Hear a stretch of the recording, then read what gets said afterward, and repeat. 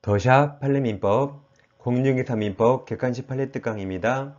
판례의 본이 되겠습니다. 여러분 안녕하세요. 부동산 보수 질성 김하인쌤입니다. 국내 최초, 국내 유일한 민법 객관식 판례 특강 더샵 판례민법을 진행하겠습니다. 더샵 판례민법 특강은 제1강부터 제40강까지 이미 종료했습니다. 이 40강을 반복 학습하셔서 판례 구독 좀 하시기 바라겠습니다. 그래서 이 시간 제128강에서는 최근 공유사심에 출제된 중요 판례를 다시 리뷰하는 과정을 진행하겠습니다.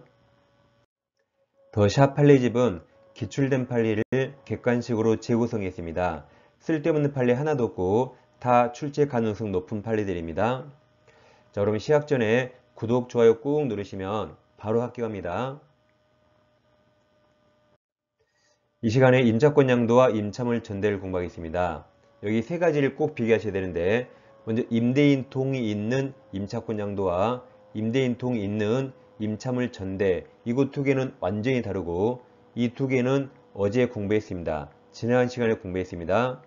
근데 임대인 동이 없을 때는 양도 전대가 똑같습니다. 이 세 가지를 꼭 비교하셔야 돼요. 그래서 오늘은 동이 없는 양도 전대 공부하겠습니다. 자, 동의했을 때 양도 전대 똑같아요. 갑부동산을 우리에게 임대차 했는데 임대인 갑 동의 없이 즉 무단으로 무단으로 양도 전대합니다. 양도하면 의리 양도인 병이 양수인이죠. 전대차하면 의리 전대인 병이 전차인입니다. 그래서 을과 병의 무단 양도 전대는 둘 간에 이거 유효입니다. 왜냐하면 가백이 안 들키면 돼요. 안 들키면 되고 만약에 들키면 의리 책임지면 되는 겁니다.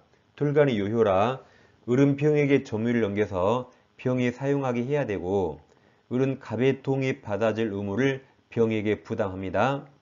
이렇게 둘 간의 유효인데 갑에게 들켰네요. 갑은 임대차를 원칙 해지하고 쫓아낼 수 있습니다.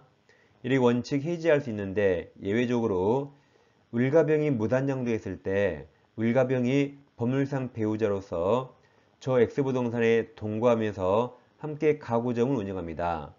자 그럼 배우자 간의 무단양도가 임대인에 대한 배신행위가 아닐 만한 이런 특별한 사정이 있다면 예외적으로 해지권이 제한돼서 예외적 해지할 수 없습니다. 그러니까 원칙 해지할 수 있는데 이런 빨강색과 같은 임대인에 대한 배신행위가 아닐 만한 특별한 사정이 있을 때 예외적 해지할 수 없습니다. 다음 여기서 보겠습니다. 갑부동산을 우리 임대차 했는데 동의 없이 무단정도 전대해서 병의점이합니다. 자 그럼 갑은 임대차를 해지할 수 있죠. 그런데 해지하든 말든 자기 마음입니다. 귀찮아서 해지하지 않았어요.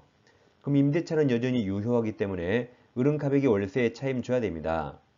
갑은 차임을 받으면 재산상 손해가 없어요. 따라서 병에게 동의 없으니까 나가라고 인도 청구하거나 방해 배제 청구할 수 있습니다. 근데 병에게 차임 상당의 손해배상이나 부당이득 반환 청구는 할 수 없습니다. 왜냐하면 을에게 매달 월세 받잖아요. 을에게 차임 받으니까 갑은 재산상 손해가 없어요. 그래서 돈 달라고 못합니다. 병한테 나가러 갈 수 있지만 돈 달라 못합니다. 자, 더샵 팔리집 154페이지입니다. 1번 문제 보세요. 을은 갑소유금을 임차했다. 그랬죠? 밑에 박스에 네 지문 보겠습니다. 1번 만약 을이 갑동의 없이 무단으로 임차권을 병에게 양도한 경우 무단 양도죠.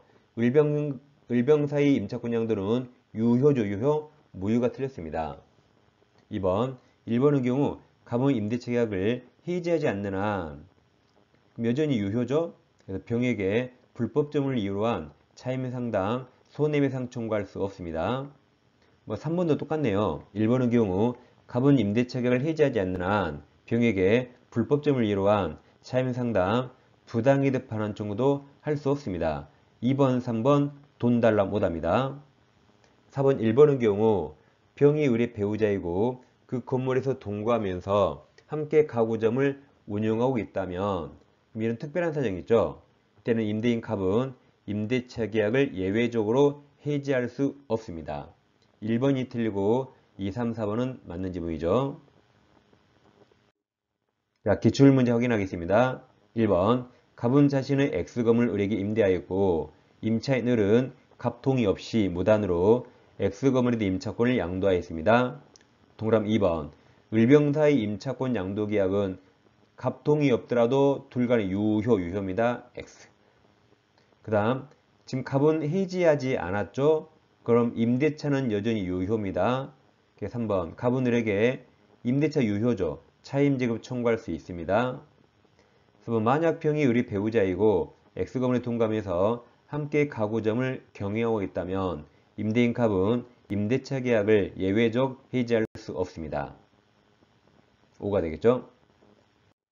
2번 갑소의 X토지를 건물 소유를 목적으로 임차한 을, 을은 임대인 갑 동의 없이 일평액이 무단 전대했습니다. 그러니까 동의 없을 때 양도 전대 똑같아요. 1번 을병사의 전대 체 계약은 유효 맞습니다. 2번 갑은 임대차 계약이 종료되지 않으면 즉 해지하지 않았죠. 맥스토지에 불법점을 이유로 병액의 차임 상당 부당이득 반환 총괄할 수 없습니다. 3번도 똑같죠? 갑은 임대차 계약이 존속하는 동안에는 즉 해지하지 않았죠. 맥스토지 불법점을 이유로 병에게 차임 상당 손해배상 총괄할 수 없습니다. 자, 지금까지 이제 민법 판례를 복습했습니다. 다음 시간부터 민특법 판례도 계속 복습하겠습니다. 자, 다음 시간에 찾아뵙겠습니다. 감사합니다.